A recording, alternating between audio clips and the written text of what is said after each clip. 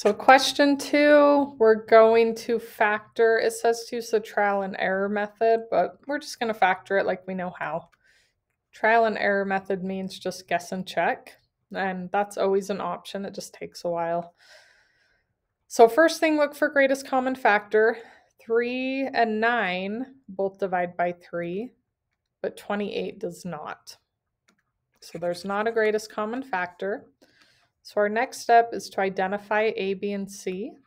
A is 3, B is 28, and C is 9.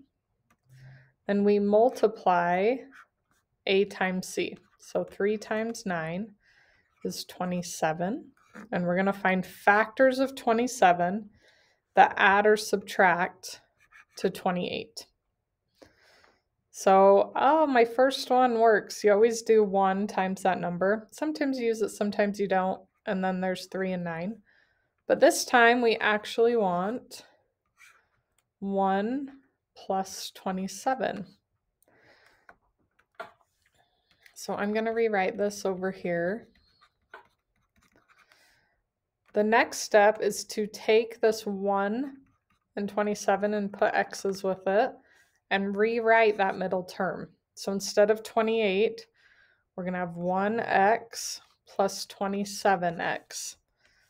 And then the 9 and the 3x squared come down. So we just rewrote the middle. And then the next step is to group the first two and group the second two and take out the greatest common factor. So we're just focusing on 3x squared plus 1x. What's the greatest common factor?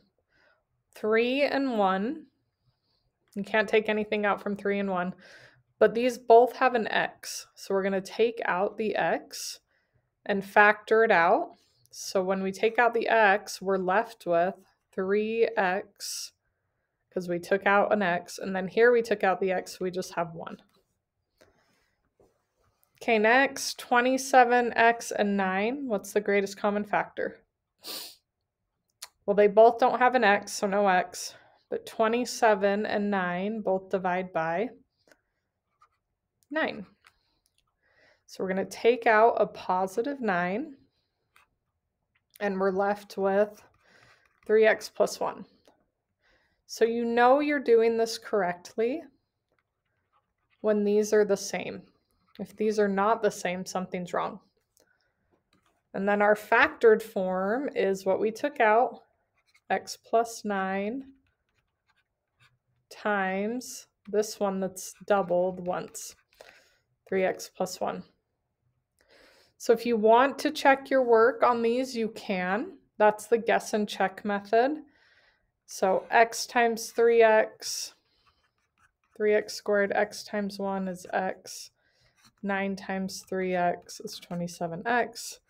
9 times 1 is 9. And look, this is this.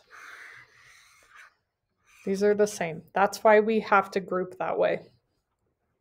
And then the middle two combine to 28x. So that does work, x plus 9,